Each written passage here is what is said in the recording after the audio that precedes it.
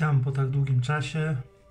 Minęło ponad pół roku od ostatniego mojego filmu i chciałem powiedzieć, co się wydarzyło, co nastało jak będzie się toczyło dalej moje życie i czy będę robił filmy i jakie robił będę filmy. Więc zacznijmy od początku. W temacie napisałem mm, Urząd zabrał mi dziecko, więc y, nasza córka została z własnej woli, y, że tak powiem, zabrana przez niemiecki Jugendamt i po paru miesiącach pobytów, można powiedzieć, domu dziecka, po sprawie sądowej, w której chciano nam zabrać prawo rodzicielskie, odzyskaliśmy córkę i podjęliśmy decyzję powrotu do Polski. A w międzyczasie, dzień przed sprawą sądową, miałem udar, czyli można powiedzieć zawał. Miałem zapchaną żyłę pomiędzy mózgiem a resztą ciała i że tak powiem, od tamtej pory jestem na zwolnieniu. To było 21 sierpnia. W tej chwili jest parę dni przed świętami. I jestem od tej pory na zwolnieniu. Byłem na rehabilitacji. W tej chwili już jestem, no można powiedzieć, w 90% sprawny. Czekam jeszcze na dokumenty bądź na decyzję, czy mogę wrócić do pracy jako kierowca i co dalej będzie, gdyż, że tak powiem, jestem w tej chwili w Polsce i czy będę pracował w Niemczech? No moim zdaniem będę, ale nie będę już tam mieszkał. Będę, że tak powiem, jeździł do pracy i wracał na weekendy, bądź co drugi weekend tutaj do Polski. A na razie jestem taki dojeżdżający, dopóki jestem na zwolnieniu. Udar miałem 21 sierpnia, praktycznie zaczął się już 20. Przepraszam. I jako, że już się słabo czułem, nie wiedziałem co to jest, yy, poszedłem do domowego lekarza. Ona dała mi, zwol, że tak powiem, skierowanie do neurologa, do pediatry yy, dotyczącej kręgosłupa, bo to, gdyż to mogło mieć, że tak powiem, związek z kręgosłupem. I powiedziała mi, jeżeli się poczuję gorzej, mam jechać od razu do szpitala na izbę przyjęć. 21 o godzinie 15 mieliśmy termin z adwokatem w sprawie naszej córki, w sprawie sprawy sądowej, która była 22 czy następnego dnia. No i ja już na tym spotkaniu nie byłem w stanie normalnie funkcjonować.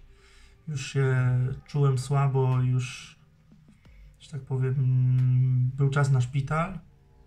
A objawiało się to tym, że byłem bardzo powolny, już nie mogłem dobrze chodzić i, że tak powiem, nie mówiłem już normalnie. Um, ogólnie udar objawił się u mnie tym, że zrobiłem się powolny i straciłem kontrolę nad lewą stroną ciała.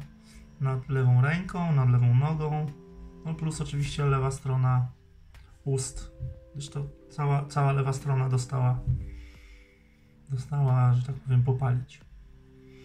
No i 21 o godzinie 16 z hakiem pojechaliśmy do szpitala po przebojach na izbie przyjęć, gdyż powiedziano mi, że nie, bo nie, bo trzeba iść do lekarza rodzinnego. Na szczęście trafił się tam lekarz, który miał głowę i w ciągu 40 minut od wejścia do szpitala leżałem już w łóżku z podpiętą pod maszynę taką strzykawą, rozrzedzającą krew i to, że tak powiem, pozwoliło na to, że jestem w miarę już stabilny i że mogę dalej funkcjonować. Dzięki temu, dzięki, że tak powiem, Uniklinice w Dreźnie.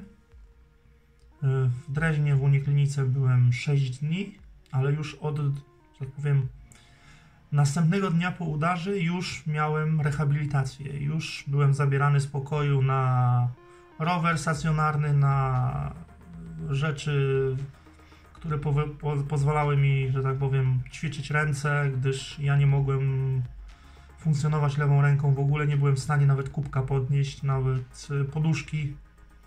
I to było ze mną ćwiczone.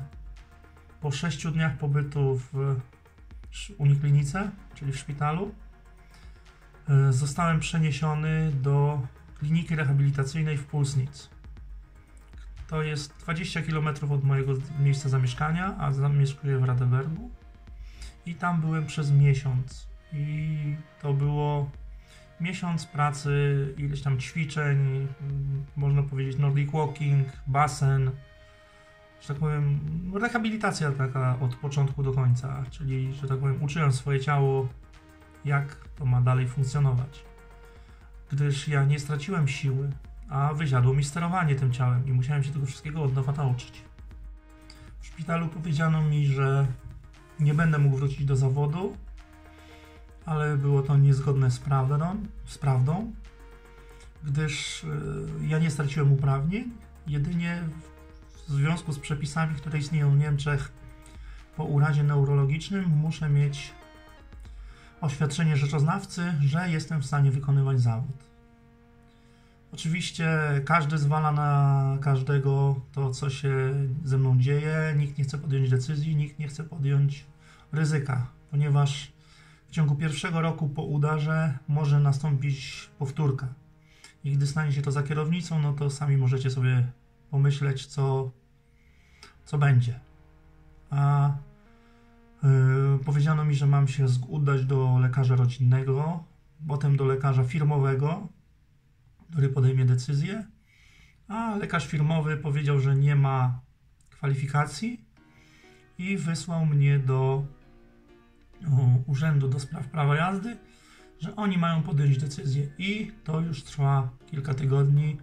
Czekam na decyzję od nich, co mam zrobić, czy ja będę mógł pracować, czy nie będę mógł pracować, czy mam, że tak powiem, iść do neurologa, który powie tak, nie, czy co ja mam robić tej chwili mija od y, sierpnia, czyli wrzesień, październik, listopad, grudzień, czyli czwarty miesiąc. Powinienem wrócić do pracy już około miesiąca temu, ale dalej jestem, że tak powiem, zawieszony w powietrzu i nie wiem, co ze mną będzie. No i to byłoby na tyle w dzisiejszym filmie. Jeżeli chcecie usłyszeć dalszą moją historię, dalszą, że tak powiem, co się dalej dzieje ze mną, co się dalej dzieje z urzędami, co, co będzie, to zapraszam do subskrypcji, subskrypcji, zapraszam do lajkowania i komentowania. Dzięki i do zobaczenia.